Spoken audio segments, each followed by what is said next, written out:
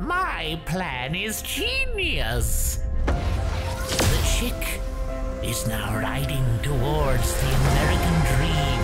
Each planet, each system, all the galaxy will be skin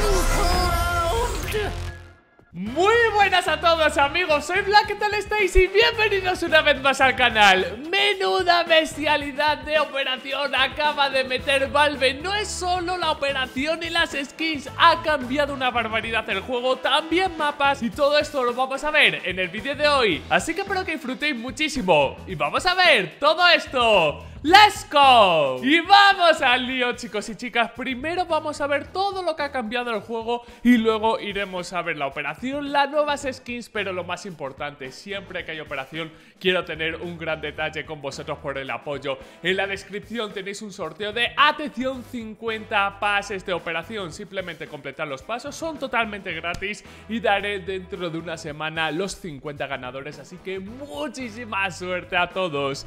Así que dicho esto, vamos a ver los cambios que han metido Valve. Vamos a ir de más a menos importante Y empezamos chicos y chicas con el, el top, el más top las granadas ahora se pueden dropear. ¿Qué significa esto? Significa que si tú quieres hacer un fake puedes eh, tirarle a una persona cuatro granadas de humo en el suelo y que las vaya tirando una a una. Eso no quiere decir muchísima atención que tú puedas llevar cuatro humos. Te las dropean en el suelo y una vez tú las tiras puedes recogerlas. Cuidado con eso.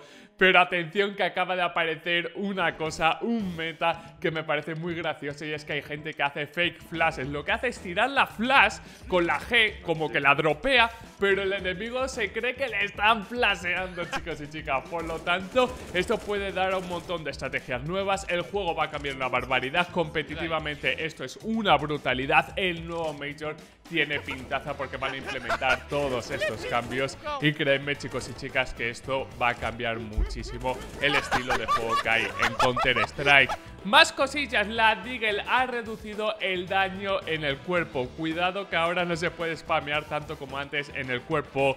La M4A1S, el daño del cuerpo ha sido incrementado. Vamos a ver si puede competir con la M4A4. Decidme en los comentarios qué os parece este cambio.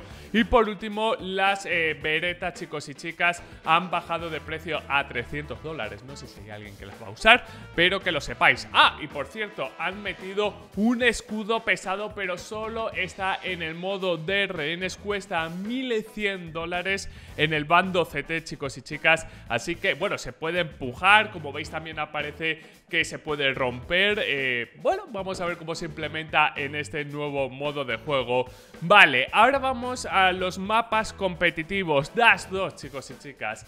Ya no se puede picar medio. Menuda brutalidad. Esto también cambia muchísimo en el mapa porque mucha gente prioriza medio, ¿vale? Muchísimos equipos y ahora te tienes que saltar a suicidio para piquear la zona central. Así que, bueno, se pueden hacer más jugadas sneakies como con la arta corta, no sé, o sea, eh, un cambio que mucha gente pedía y que por fin han implementado. Inferno, chicos y chicas, como veis han quitado la reja que estaba al lado de los sacos y han puesto una especie de puerta que además tiene eh, una superficie en la cual te puedes fustear y disparar por encima de sacos. Eh, es un cambio que he visto que ha gustado muchísimo a la comunidad, así que bravo Valve por este cambio. Y por último, en el mapa de Ancient, básicamente lo que han hecho es que la zona de plante es bastante más grande. Hay mucha gente de que se queja de que se puede matar de Wallban, que es muy difícil plantar, que está siempre expuesto. Vamos a ver si con este cambio, chicos y chicas, eh, pues está mejor el mapa, ¿no? Y se puede plantar más fácilmente. Vale, ahora vamos a los cambios en eh, modos de juego. Ahora se van a poder hacer partidas privadas. ¿Qué dicen chicos y chicas? Como estáis viendo en pantalla, simplemente creas la partida, envías el código a tus colegas y podéis jugar un 5 vs 5. también es un gran cambio, es que este parche es una auténtica bestialidad. ¡Atención a esto! Ahora se pueden jugar partidas más cortas, chicos y chicas. Podremos elegir la duración entre 16 rondas o 30 como siempre. ¿Con estas partidas se van a poder subir de rango? Sí, pero recuerdo que el rango va en base a las rondas ganadas. ¿Qué quiere decir esto? Que tú vas a poder subir de rango en estas partidas cortas, pero no subes tanto elo. Te costará más partidas subir de rango. Eso quiero que lo sepáis. Respecto al Deathmatch, chicos y chicas, han añadido el modo clásico que ya teníamos, el Team Deathmatch, que es básicamente el equipo que consiga las 100 primeras bajas gana, y un modo de Deathmatch Free for All, todos los jugadores son enemigos y el que gane se lleva el premio. En demolición han reducido el número máximo de rondas a 10 y han eliminado el cambio de bando. Han reducido también eh, la duración de las rondas y han ajustado la progresión de las armas. Al igual que en carrera armamentística también han ajustado la progresión de armas, supongo que saldrán distintas. Y ahora los jugadores si consiguen una racha de 3 recibirán vida.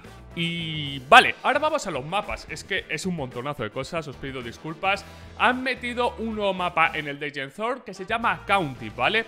Basal e Inserción 2 han sido añadidos en el competitivo oficial. Ravin y Extracción han sido eh, mapas añadidos en el modo Wingman 2 para 2. Y por último, chicos y chicas, mapas que ya no van a aparecer: Green, Mocha, Pistop, Calavera y Frostbite, el mapa de nieve de Danger Zone.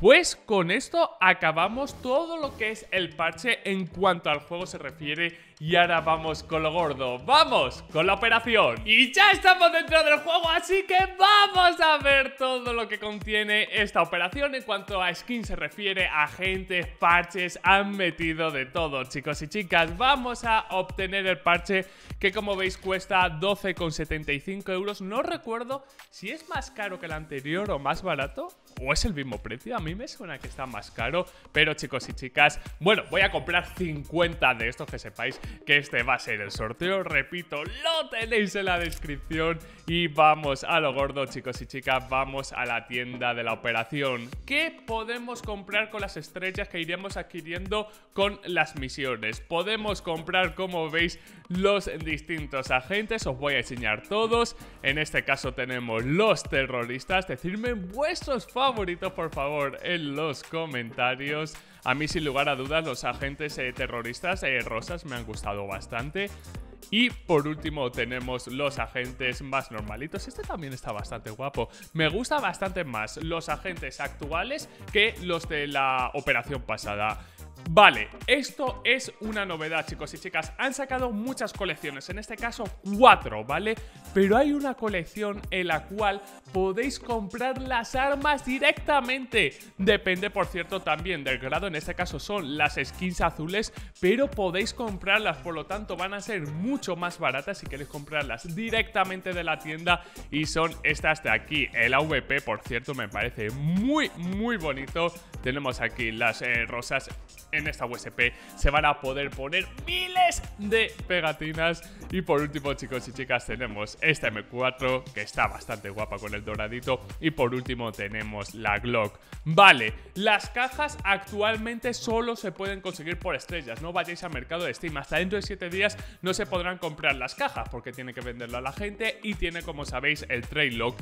Y vamos a ver las distintas colecciones, chicos y chicas. Esta es la de Mirage, armas a destacar desde mi punto de vista, esta USP que es formidable, esta Glock DDPAT, es que wow, eh, o sea, madre del amor hermoso. Y mi skin favorita mi skin favorita. Iremos a por ella en contratos, chicos y chicas, este fin de semana, aunque está bastante, bastante cara ya conseguirla, pero yo iré a por todas. En este caso de la colección de Das 2, armas a destacar, eh, bueno, esta USP no es la mejor de la historia, la verdad. Esta colección no me gusta tanto, lo más a destacar es la UMP FADE y el AK dorada. Ya está a más de 1000 euros este AK, para que os hagáis una idea. Y bueno, también tenemos esta Mac Dudo que sea Blue Gem, ojalá exista algún pattern, ya lo veremos y ya lo iremos descubriendo. En cuanto a esa colección, la de Vértigo, chicos y chicas, han metido una K eh, Green eh, Laminate que me ha hecho muchísima gracia. De hecho, ¿verdad? Está la Blue, está la Black, está la Red, han metido ahora la verde. Tenemos esta P250 que también está muy guapa. Por cierto, han cambiado el logo de Vértigo, que me parece un acierto, está muy muy guapa. Esta Five 7 también es formidable. La SG así amarillita tampoco está nada mal. Y por último, esta sería el arma roja de esta colección, como digo. Y desde mi punto de vista, las máscaras van a ser el AK dorada y el AVP. También tenemos estos parches, chicos y chicas. A mí personalmente los parches, como sabéis, no me van mucho. Pienso que no tienen tanto protagonismo como deberían.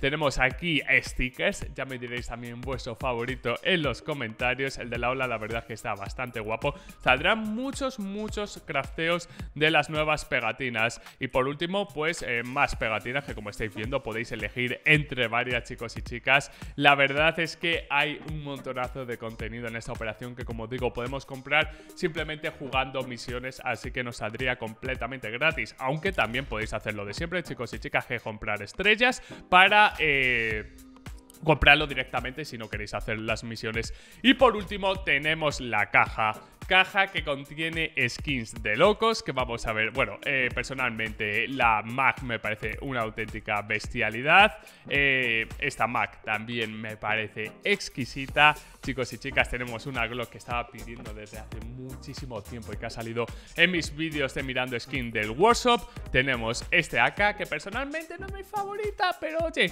sé que hay mucha gente que le gusta este estilo cubista. Creo que es cubismo, ¿no? espero no haberme equivocado. Tenemos esta Dig que me parece una brutalidad. Pero chicos y chicas, los cuchillos lo vais a ver ahora mismo en pantalla. Se les ha ido la puta olla.